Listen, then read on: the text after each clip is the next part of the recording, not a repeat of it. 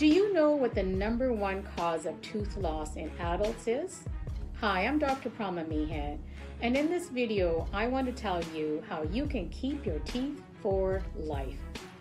Periodontal disease is an infection of the supporting structures around our teeth caused by the bacteria that live in plaque. As that bacterial infection spreads to below the gum line, the gums and the bone will eventually start breaking down, forming pockets, and eventually causing tooth loss. Periodontal disease is the number one cause of tooth loss in adults and will affect four out of five people at some point in your lives.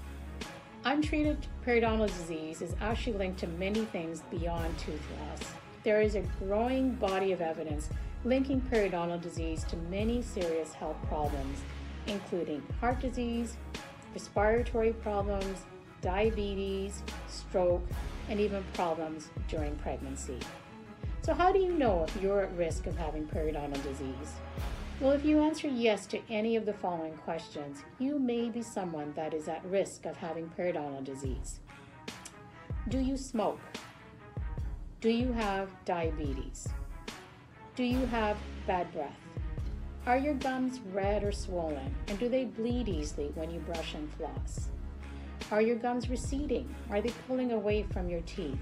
And are your teeth getting loose? Now, the best way to fight periodontal disease is with great home care, brushing twice a day, flossing daily, using a good mouthwash, and with regular dental cleanings.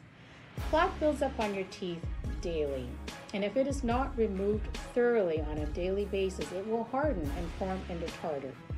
Tartar cannot be removed with brushing and flossing. You need dental cleanings to remove that. Remember, bacteria lives in plaque and it lives in tartar. Ideally, everyone should have a cleaning twice a year, but if you're somebody who has periodontal disease or if you have any of the risk factors for developing periodontal disease, you're someone who may benefit from having a cleaning every three months. So call our office to schedule your dental cleaning or your dental hygiene appointments. The earlier we detect a problem, the simpler, the easier, and the less costly the solution will be to you.